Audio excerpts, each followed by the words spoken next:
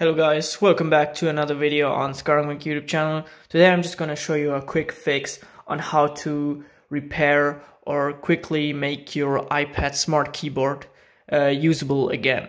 So there's really just one issue going on. So for instance, if your smart keyboard, like mine, isn't responding to any of your commands recently, uh, you just need to do one thing. So uh, just take a Q-tip and some isoprene alcohol. And uh, just detach your iPad from from the keyboard. So I'm just gonna do that right now.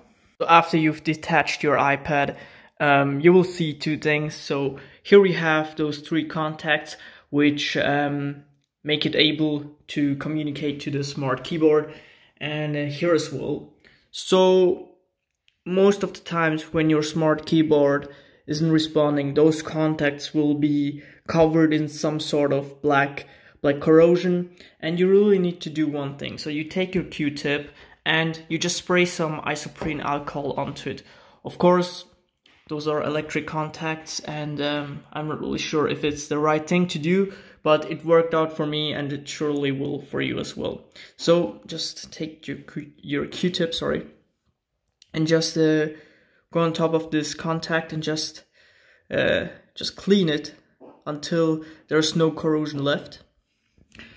And clean those contacts as well. So you just want to get the isoprene alcohol onto these contacts and clean them.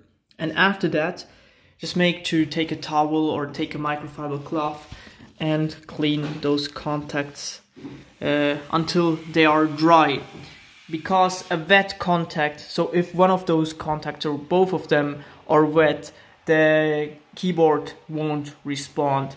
And after that, you just connect your smart keyboard to your iPad, position it, and it will work again.